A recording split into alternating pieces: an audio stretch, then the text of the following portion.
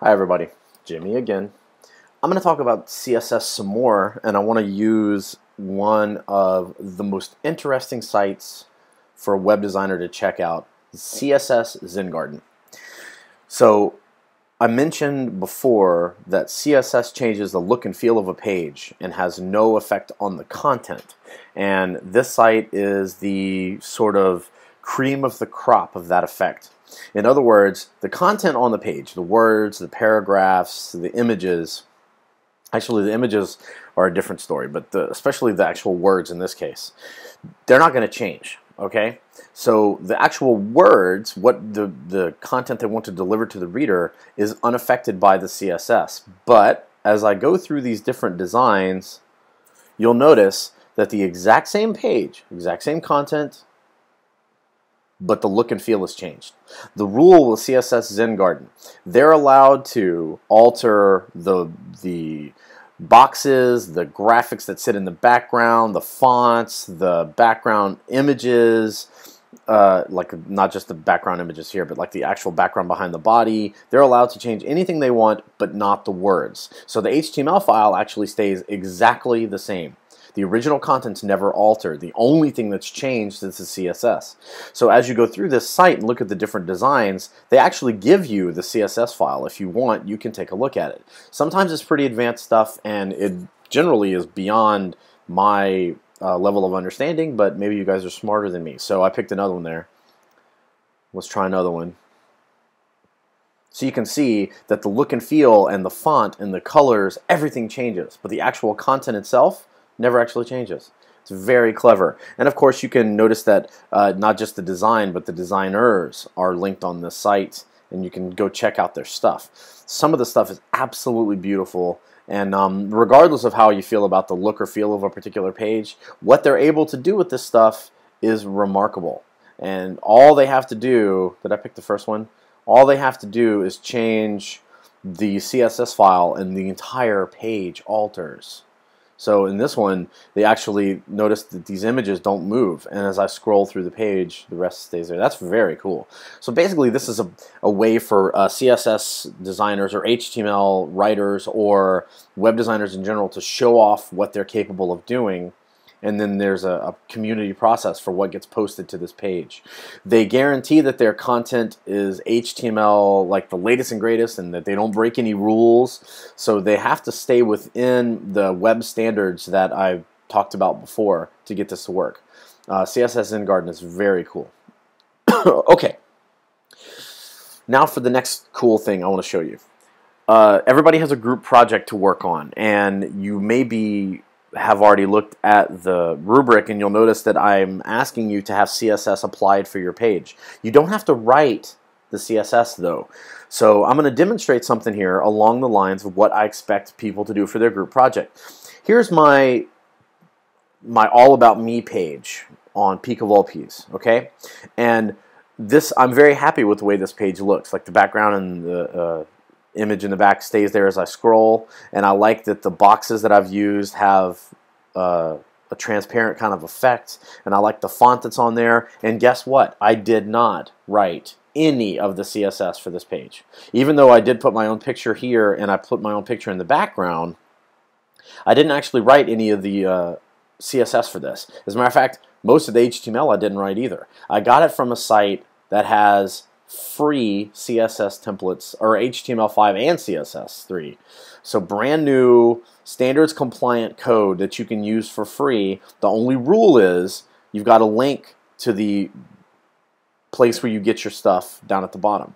And there are lots of places to get free CSS templates, but I picked this one because it's got HTML5 and CSS3, so it's latest and greatest. Some of the uh, templates that you can find online for free are HTML4 and this has latest and greatest stuff. The cool thing is you download the template and it comes with all of the images, all of the JavaScript, and all of the HTML and all you have to do is fill in the blanks. So notice what I did here on my Jimmy's portfolio page. I actually linked to the original file. Here it is, original design down at the bottom.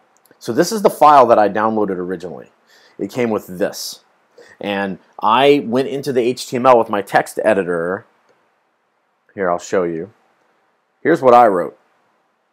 So I actually opened up the file that I downloaded from their website in my text editor and I changed around some of the content. So instead of title saying Scenic Photo 2, I made it say Web Portfolio colon JN0074. And where it said, you know, I just changed around some of the pieces and parts that are on here, including the menus. You'll notice that the way this thing works, and a lot of them are like this, they've got menus built in. So I and including a drop-down menu. You don't have to write any of this code. You can have it for free. And this is actually a lot of people when I do this in these classes say, "Well, isn't this cheating?" To be honest, what I'm trying to get you to be able to do is take code that already exists and make it work for your purposes.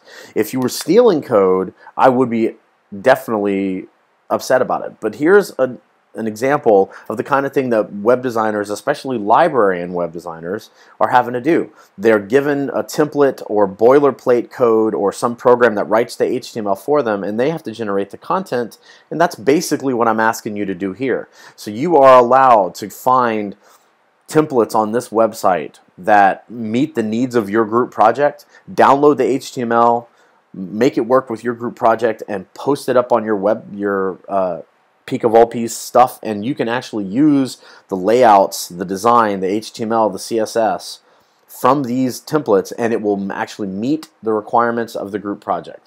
Okay, so um, I'll send you a link to CSS Zen Garden to this site, and then the third one I'm going to mention, which isn't quite as good, but is pretty cool because you can uh, limit your um, you can sort of filter through some of the results. It's called opendesigns.org, and they have uh, open source, Creative Commons, or um, even, I guess, public domain layouts and templates that you can use.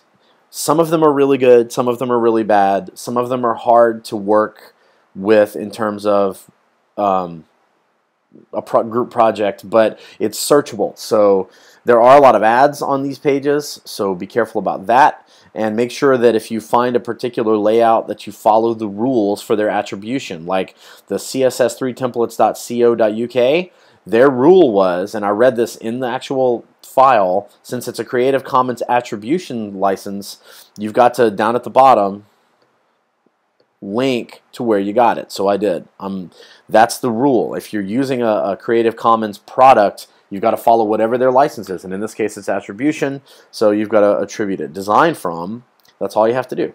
Okay? So I didn't actually write any of this HTML. I stole it, or I guess I borrowed it from that template, and then I made it meet my own needs, and it looks really, really good in my opinion. So, like I'm the menu, even though this is not really something I plan to use, I wanted to demonstrate how you can take a template and make it work without a whole lot of time and energy. I think I spent maybe 15 minutes editing the HTML, put it up on the Peak of Picavolt site, and then I've got code ready to go. Um, what I would warn you about open designs though is some of the designs are big and represent like a, a, really big website with lots of menus and a search box and a calendar. So it's possible to pick a design that has too many moving parts. So when you're looking around at the different templates, make sure it's going to meet with your group's approval. Everybody should look at it and you all decide that this is really, really good. Remember that if there's code you don't need or you don't want, you can either just throw it away, like literally cut it out of the page, or you can comment stuff out and leave it in there. So if one of the people working on a page thinks, oh, I don't need this search box, or I don't want this calendar in there, you can just comment it out but leave the actual code in there for the other people to see or if you want to delete it just throw it away. So um, this stuff is really really awesome and there's definitely uh, stuff in them that's beyond the scope of our course like here's a chunk of uh, programming that's definitely beyond where we are but it doesn't matter. It's all you really need to do is take it and uh, use it for your own needs. So if something's really beyond the pale and you don't understand it, ask. Or if you feel like it's too complicated, maybe pick a design that has less stuff to it. Um, don't be afraid to play with this code. As long as you follow the rules and attribute it correctly, it is yours to use. Okay, cool. That's uh, should be a real time saver and anxiety remover for your group project. Find a template that works the way you want it, Take it and apply it to your site. Good luck.